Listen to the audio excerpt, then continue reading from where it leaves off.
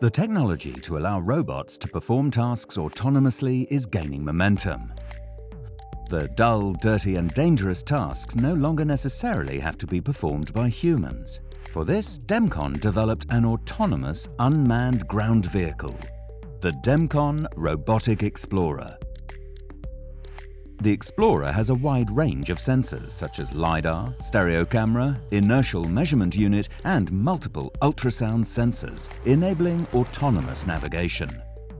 The Demcon Robotic Explorer is specially designed for off-road navigation, but is also suitable for on-road driving. The robot creates a map of its environment by using the LiDAR and its other sensors. The Explorer is then able to plan an optimal route to any goal and follow the route autonomously. The Demcon Robotic Explorer is capable of independently planning its way around static and dynamic obstacles.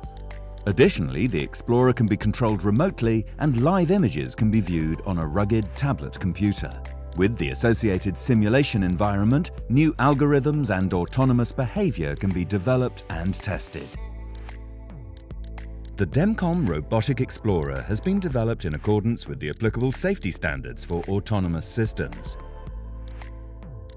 The Demcon Robotic Explorer has, depending on its configuration, a top speed of 6 to 11 kilometers per hour, a range of 20 kilometers, an uptime of at least 8 hours, and can carry a payload of 100 kilograms.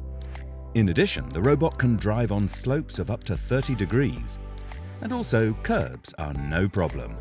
The Demcon Robotic Explorer is an ideal platform for autonomous surveillance and inspection, or as a development platform for autonomous navigation technology.